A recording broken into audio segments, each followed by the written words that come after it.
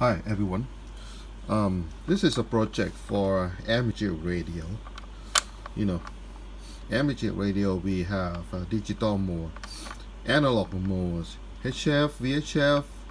So in in every mode we have all kind of toy to play with. So this is one of them. Very popular. APRS automatic position report system so I make this box pelican case with um, with inside is um, I give them a name of we call emergency call box because it's perfect for the emergency.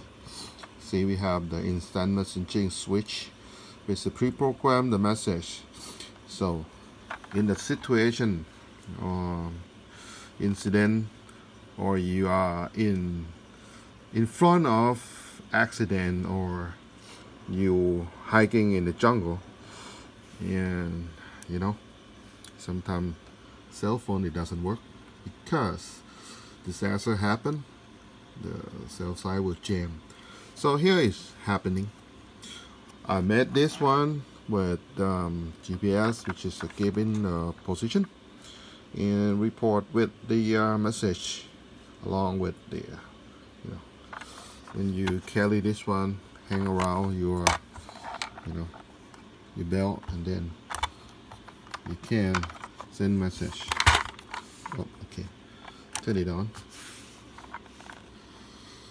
Uh, I think I don't need to take that time for GPS yet. Oh okay. So the blue light is GPS lock and then they send a message in normal.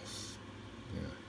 So this is a receiver I use the uh, VHF 144.390 megahertz. That's a receiver.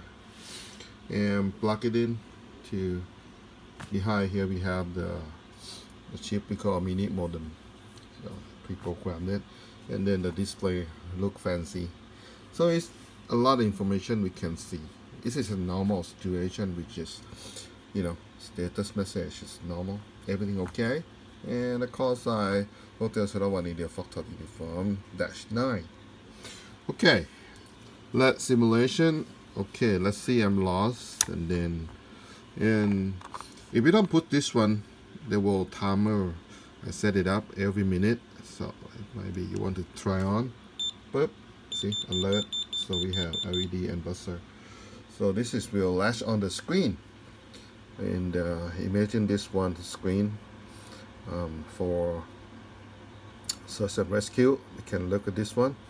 Or if you are in situation in front of you have the uh, the flood or the water is coming up the dam is broken so you want to send messages because you don't have the internet or cell phone press this one. So we got this one alert. Okay?